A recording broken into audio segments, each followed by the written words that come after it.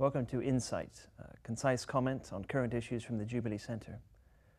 We're now talking to Nick Spencer, co-author of Christianity, Climate Change and Sustainable Living, uh, which he wrote on behalf of the Jubilee Centre, uh, and now Director of Studies at Theos. Nick, we hear all this talk that we need to do something about global warming. But can't we rely on technology to deliver a solution so that we can carry on as we always have? We can rely on technology to, de to deliver solutions, but we can't rely on a technological fix.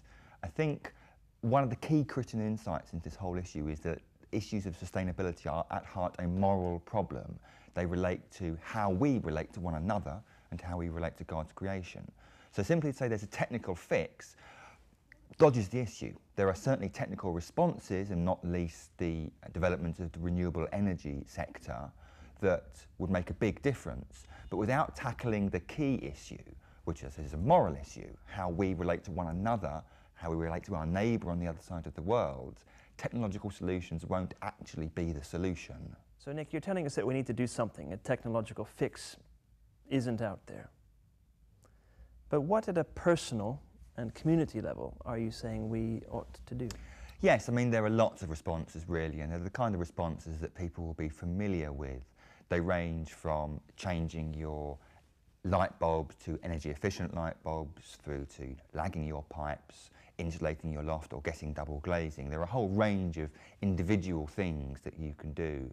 Tearfund publishes a very good little booklet called For Tomorrow Too, which has lots of sort of handy hints in it.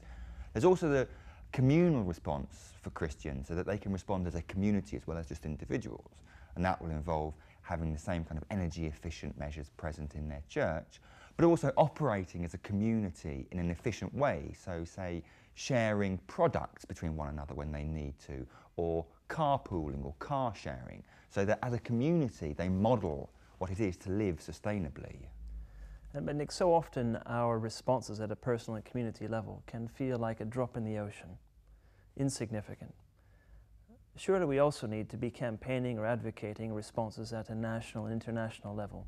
Can you give us an indicator of what sort of responses we should favour as Christians? The problem about this whole debate is that it gets stuck in a, rut. The rut which is on the one hand, I can't do anything because government's not going to do anything, what difference am I going to make? And then the government response which is, well, we can't do anything because there's no effectively space of public permission. We can't impose solutions on unwilling public. The response, therefore, has to be twofold. You have to do things as an individual, but in doing things as an individual and as a community, you create that space of public permission in which government can act. And it's not just your personal response, but how you campaign, the kind of gentle but persistent pressure you put on governments to, for example, develop the renewables industry or whatever it is, you know, to stop airport expansion or road building. That's the kind of thing that gently makes government action more feasible.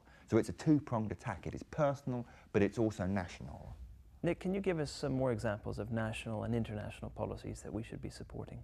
Well, of course, there are a very wide range of them, and many of them are extremely complex. But one of the most popular ones at the moment, and I think growing in its popularity, is the idea of carbon trading. Now that exists in, across the European Union for businesses, but there are also ideas that it could exist amongst individuals. Individuals have a carbon bank account, if, they, if you like, and they're allocated carbon, which they then use up as they travel or heat their homes, but they can also sell it and trade it on the market. It's a, it's a, a fascinating idea, and the thing I think is most fascinating about it is that it actually reflects the legislation of the Jubilee that you find in Leviticus, whereby everybody was allocated their own share of the natural environment, which they could then use or trade as they wanted to.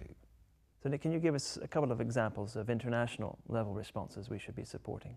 Well, what I said about the two-pronged attack between the personal and, and, the national also applies with regard to the national and the international. Great Britain is responsible for something like 2.5% of the world's carbon dioxide emissions. Great Britain alone isn't going to do anything. But if nations like Great Britain refuse to do anything, there's unlikely to be any international response. So it has to start somewhere. And as part of that, it means putting pressure on the international community so that an example of one nation responding positively can be spread out across all nations. Nick Spencer, thank you very much.